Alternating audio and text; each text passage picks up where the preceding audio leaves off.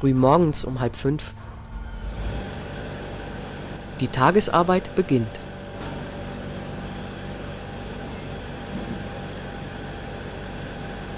Was wird hier hergestellt? Könnt ihr es erkennen?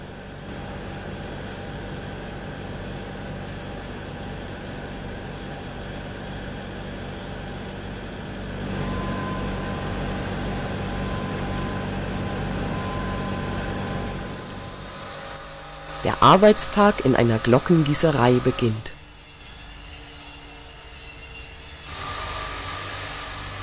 Auch für Meister Perner. Seit mehr als 300 Jahren ist diese Glockengießerwerkstatt im Besitz der Familie Perner.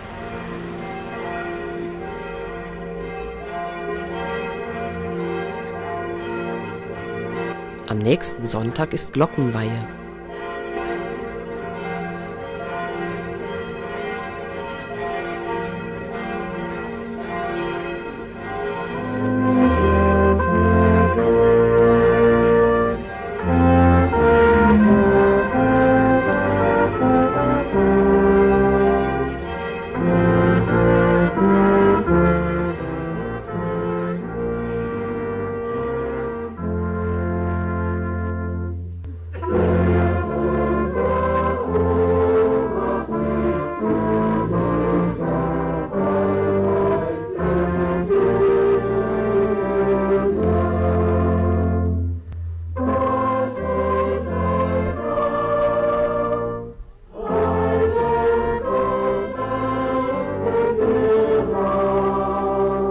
Glockenweihe.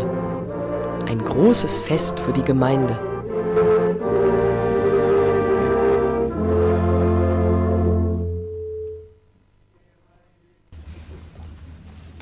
Liebe Kinder, schaut her. Ein grüner Busch, Zeichen des Lebens. Das Leben Gottes möge in dieses Metall, in diesen Guss hineinkommen, die Glocken, damit sie das Leben verkünden. Das Wasser erinnert an die Taufe. Wir werden jetzt die Glocken taufen. Sie sollen uns getauften Christen helfen, richtig zu leben.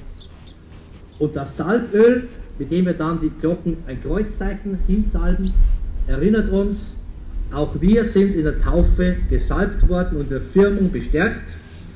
Diese Glocken sollen uns helfen, als Getaufte und Gefirmte richtig zu leben. So lasst uns nun diese Glocken segnen.